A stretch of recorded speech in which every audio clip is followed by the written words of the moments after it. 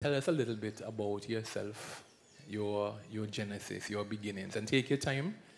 Um, we, have, we have time this evening. Well, my name is Lucia Baltimore.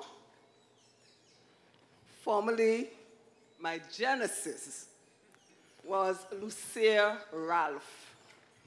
I am from, yes, Colonel at the back there. That's, that's, that's my family there. Yes, I was born in Bethesda many moons ago. Brought up in Bethesda, went to the Bethesda Primary School.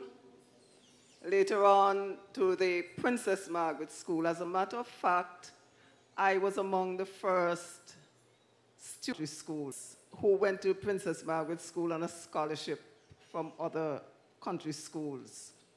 I spent five years at Princess Margaret School. When I left school, I went into teaching. It's the only job that I wanted to do. I had opportunity to do something else, another job that would have paid me more than teaching, but I felt that that is where God wanted me to be.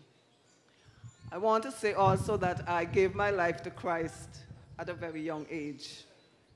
And I am still serving him today, just as excited, even Hallelujah. more so than I was as a teenager. Hallelujah. God has been good, God has been gracious. And I want to say to the young people who are here, when we remember God, and remember just don't mean to think about Him, when we put God in our lives, in our youth, we grow with Him, we grow with direction, we grow with, with, with wisdom. There are so many things that we are kept from. Amen. Our lives are in God's hand, and He watches over us from childhood to youth to adulthood to old age.